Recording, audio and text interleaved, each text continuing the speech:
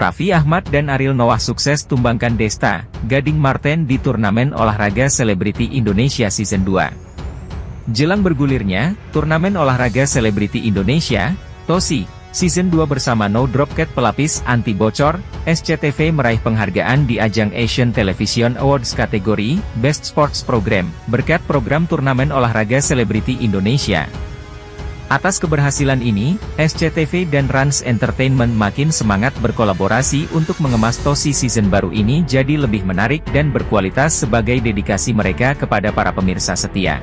Turnamen olahraga selebriti Indonesia, Tosi, season 2 bersama No Dropcat pelapis anti bocor, telah berlangsung Sabtu, 13 Januari 2024, kemarin.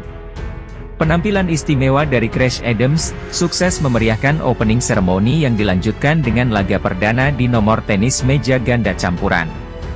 Dalam pertandingan tenis meja kemarin, Raffi Ahmad dan Ariel Noah beradu strategi melawan Desta dan Gading Marten. Lalu ada juga Abdel dengan Wendy Walters melawan Bedu dan Berliana Lovell. Di bulu tangkis, El Rumi dan Jevan Natanio bertanding sengit.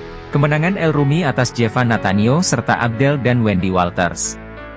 Abdel yang tampil berpasangan dengan Wendy Walters, berhasil mengalahkan Bedu dan Berliana Lovell. Kemenangan yang diraih Abdel dan Wendy Walters yang kemarin, sekaligus memastikan langkah mereka menuju laga final tenis meja ganda campuran. Keseruan juga terjadi di arena bulu tangkis. El Rumi berhasil mengalahkan Jevan Natanio dalam dua set tanpa balas dalam laga bulu tangkis tunggal putra. Jevan Natanio menjadi lawan yang tidak mudah bagi El Rumi karena merupakan pemain yang mengandalkan tangan kiri.